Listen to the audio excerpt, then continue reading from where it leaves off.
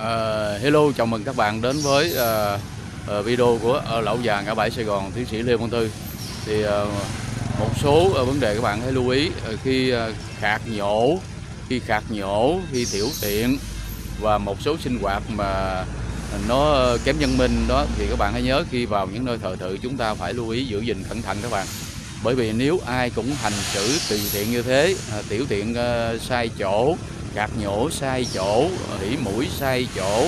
và xả rác sai chỗ đó thì chúng ta đã vi phạm những cái văn hóa ờ, ứng xử trong đời sống xã hội. Vì vậy các bạn hãy nhớ lưu ý bước vào những nơi thờ tự đình chùa những nơi chân nghiêm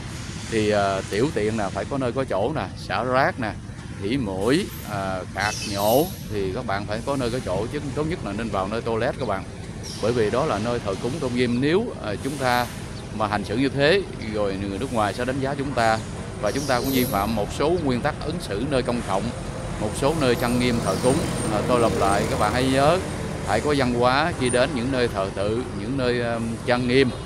Gạt nhổ tỉ mũi tiểu tiện xả rác cười cợt